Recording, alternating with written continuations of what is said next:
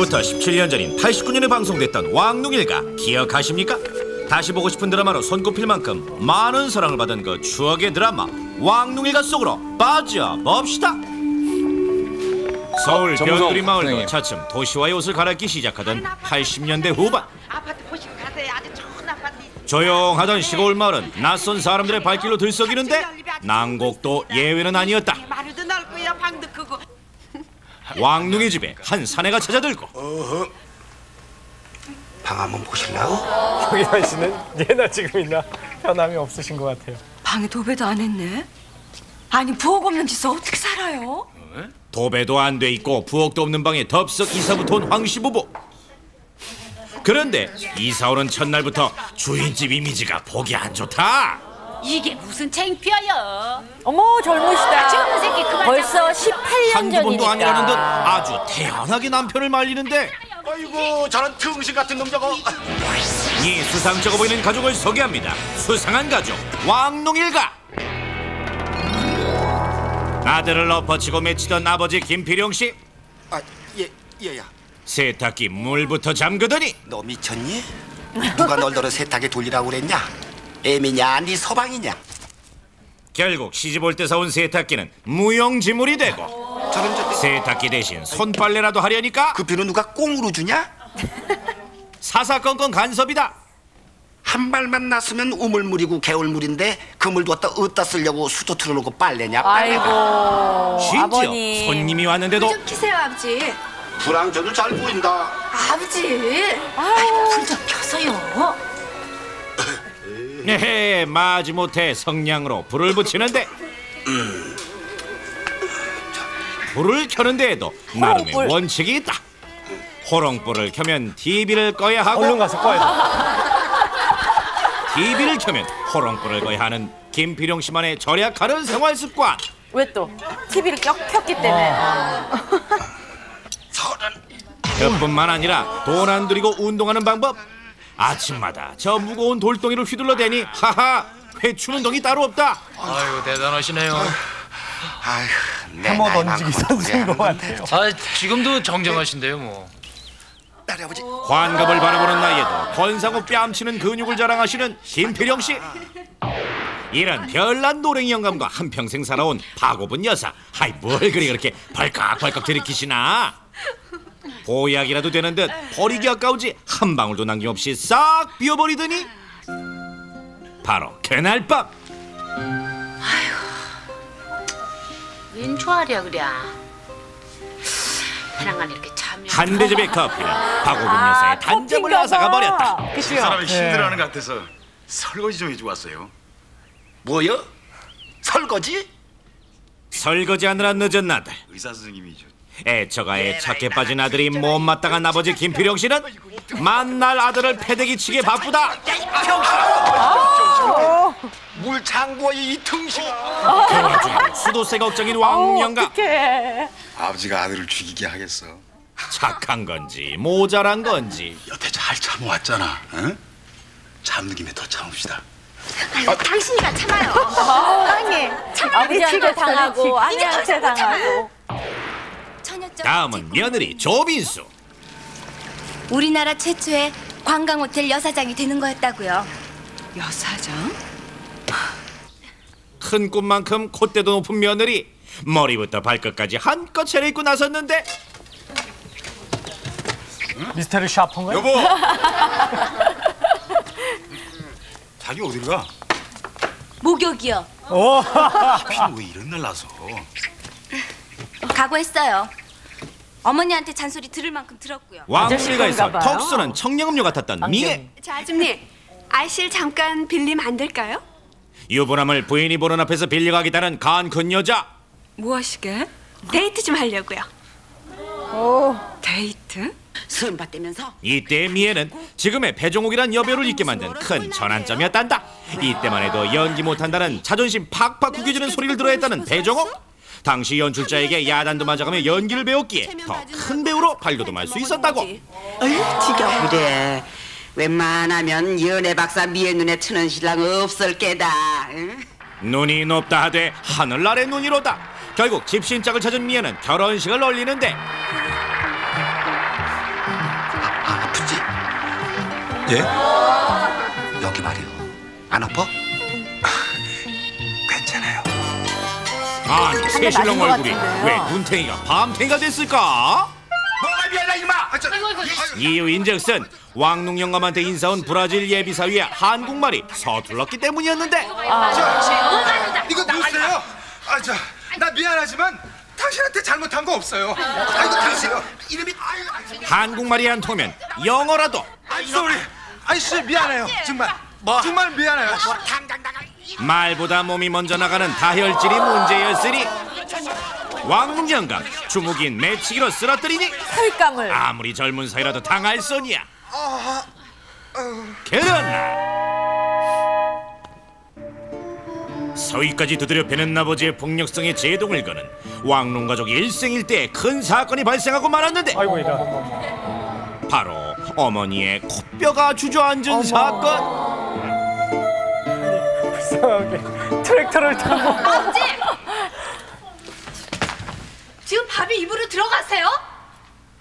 아니 기차 화통을 삶아 먹었나? 뭔 목소리가 이렇게 높은겨? 아버지는 엄마가 어떻게 됐는 줄이나 아세요?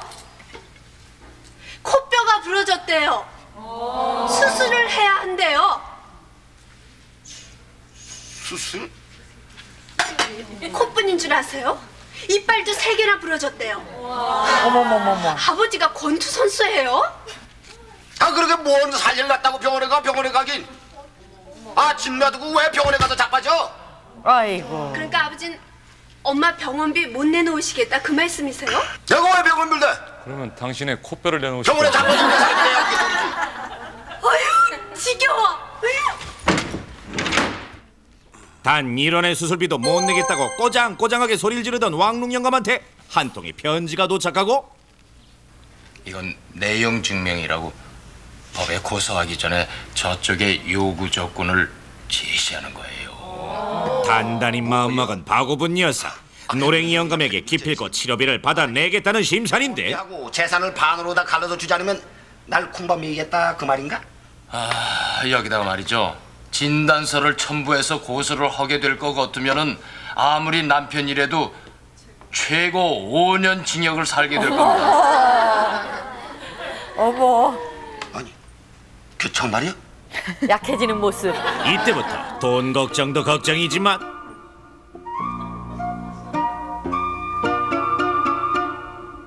자다가 부인 사진만 봐도 깜짝 놀래고 무섭게 사진을 찍으셨대요. 자 알아보고 놀란 가슴 소뚜껑 보고 놀란다고 허기고 숨기 바쁘다 바빠 아이고. 순박하고 순진한 아버지 상이네요. 이렇게 살얼음판을 걷는 것 같은 심정에 결정타를 치고 말한 이가 있었으니 내가 바느질 할 줄 알았으면 아버지 손바지 한 벌 지어드릴 텐데. 그 손바지 저고는 뭐 하려고? 뭐 하다뇨? 방 안에 가만히 계셔도 추운데 영창에 있다고 생각해 보세요. 이렇게 입고 가셨다가는 겁을 동상에. 걸리든지 얼어 죽고 말 거예요. 한편 병원에서는 어떠냐? 세우셨어. 이 처음보다 더 높아진 것 같지 않냐? 훨씬 높아지고 이뻐지셨어요. 그렇지. 네가 보기도 내가 이뻐졌지? 응? 이거 결국 불안해 얼굴이 까맣게 다들어간 왕농 영감 100개를 들고 3천만 원 쬐끔 빠질게요. 그때 돈으로 3천만 원이면 18년 전이에요, 횟수로. 아니 왜 그래 이놈아? 편찮으신 거 아니시죠?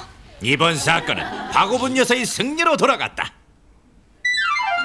왕농 일가에도 숨은 감초들이 곳곳에 숨어 있었는데 그 마을 일을 두루두루 보살피자면 바빠서 이장이라 공사다망하다란 이장 양만초 씨부터 1년 365일 술 없이는 못 사는 홍 씨 나갈 길은 홍씨 아저씨 노래 좀 상가해 줄 수 없어요? 살짝 얄미워 주시는 주린애까지 잠을 잘 수가 없어요. 주리는 낮잠 자면서 엿 먹나? 남이야 자면서 엿을 먹거나 말거나. 하지만 이 사람 빼놓으면 섭하다 막걸리를 따르고서는 손가락으로 휘휘 젓는 부스스 외모에 이어져. 웃었어. 은실 엄마 은실 엄마 맞아 기억나요. 선생님 애술할 줄 아시는가요? 애술이요? 이렇게 예술을 애술이라 이렇게 이렇게 잡고 남자 여자가 잡고요. 카바레에서 애술하는 거 말이에요. 우라질이요? 아이고 시상에 숭해라. 브라질을 우라질이라 그래서 맞다고. 그 양코백이 돼요. 아니 내가 언제 양코백이라 가더나? 정씨 아저씨가 지금 안 그랬는 게 비네요. 저 우라질 총각이라고. 육체적인 사랑 그러나 뭐니 뭐니 해도 은실래표 최대 유행어는 그렇죠. 그런 사랑을 플라토닉 러브라고 그래요. 그러니까 은실레는 바로 그 플라토닉 러브를 했다 그 말씀이에요. 세상에 그래요. 지는요 동상하고 참말로 플라스틱 러브를 했거든요. 플라스틱 아 러브. 기억나네요. 동상이 누구냐? 이제 곧 나올 겁니다. 그녀에게 플라스틱 러브를 가르쳐준 주인공이 있었으니 바로 이 사람 저 카리스마. 좀 더드릴까요? 마담 찬꾸리 솜씨가 아주 여간 아닌데 어, 느끼한 멋있어요. 목소리로 칭찬을 하더니 김치찌개 지전해간 것 뿐인데요. 자 여기 있어 아니, 어, 저, 이거 한 장이 더 왔는데요. 마담도 참 그거 TV예요 그렇게 알고 받아놓으세요 팁까지 주고 가는 쿠웨이트 바 은실 내 얼굴에 화색이 돈다. 맥주나 한잔 합시다 누님. 두 번째 작업 방법은 바로 누님. 시방. 누님이라고 하셨죠? 전 누님 처음 볼 적에 아주 깜짝 놀랐어요. 돌아가신 우리 누님이 돌아 살아오셨나 했구만 눈하고 입술은 아주 영락없이 빼다 박았어요. 와, 왜? 참말이에요? 저한테 하모니카 가르쳐준 사람도 누님이었고 누님이 제일 좋아하던 노래가 보리밭이었습니다. 바로 감정 잡아주는 쿠웨이트 박.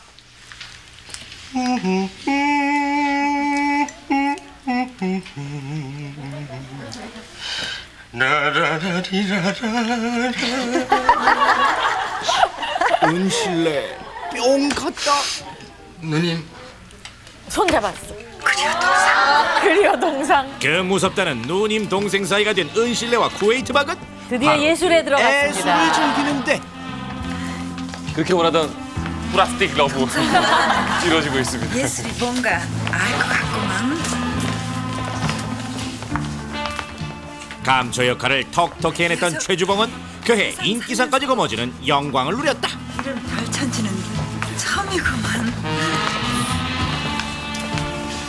내일 또 일하려면 편히 쉬셔야 만남은 왜 이리 짧은가 헤어짐이 아쉽기만 한데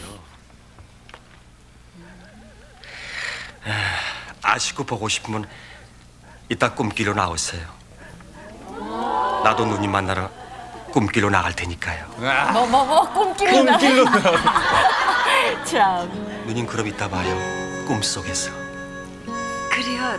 꼭 나와야 해요. 꿈길에서 만나기로 약속한 두 사람. 왕릉일 가면 빠질 수 없는 최고의 커플이었다. 사랑해서 안 될 사랑을 사랑하는 죄이라서 말 못하는 이말 가슴. 울어야 하나 어디들 먹어? 모자라지 다 나오냐? 쿠웨이트 근로자로 갔다 왔다 해서 그 쿠웨이트 가게. 전 말이에요. 미배 아버님이 왕소금반이 아니라는 인상을 받았습니다. 땡보는 땡보지만은 돈만 하는 땡보는 아니지로. 헝다야. 17년 전 왕릉일가가 방송되던 수요일 목요일 저녁에는 길에 사람이 없을 정도로 인기 있는 드라마였다고 한다 어, 저 너도 한 잔이야. 아니에요. 노랭이, 자린고비, 땡보, 왕소금, 염전, 장아찌를 몽땅 다 갖다 놔도 왕릉 영감만큼 짤 수는 없을 테지만 그 넉넉하고 따뜻했던 시골 인심이 도시화 속에 묻혀 사라져버릴까 어쩌면 그들은 두려웠는지도 모른다 이 겨울 지나면 봄이 오는 게 세상에 있죠. 어.